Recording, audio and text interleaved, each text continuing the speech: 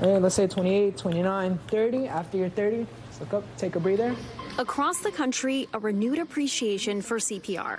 The emergency procedure that saved Buffalo Bills safety Damar Hamlin's life. And somebody goes into cardiac arrest, meaning their heart isn't flowing the blood around their body, so oxygen isn't getting to the organs, particularly the brain, the liver, the lungs. They end up increasing your chances of dying every second that's out there. So getting CPR on very quickly, getting that blood circulating around the body through CPR is extremely important. Following Hamlin's near death experience, doctors are calling on ordinary Americans to learn CPR and people are listening. So I'm a really big Bengals fan, and I was watching the Monday night game and watching Damar Hamlin go down and get injured. Uh, just reminded me that I need to go refresh my CPR skills. When giving breaths, the chest should begin to rise. So I signed up for a CPR class myself. Remember, we want to go at a rate of 100 to 120 compressions per minute, right?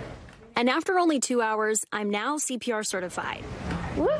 Woo! it's a workout, right? Yeah. workout. yeah, you're ready. Clearing the way for me to step up in an emergency situation. We always like to say we always rather be preventative, right? We always just want to be prepared for these things, right? We're not always looking at it like, oh, maybe today is the day or maybe tomorrow's the day.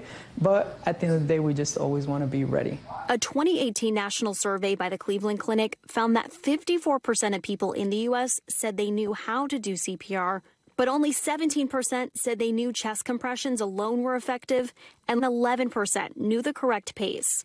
Two sticking points made during the certification class, and that knowledge could be the difference between life or death. It's going to happen at the grocery store, it's going to happen in the office, it's going to happen out on the street. And so, everyone understanding that they don't necessarily have to have that full lesson of CPR, they just need to understand to start pushing on the chest that 100, 120 beats a minute. Call 911 and save a life. Maya Eaglin, NBC News, New York. Thanks for watching our YouTube channel. Follow today's top stories and breaking news by downloading the NBC News app.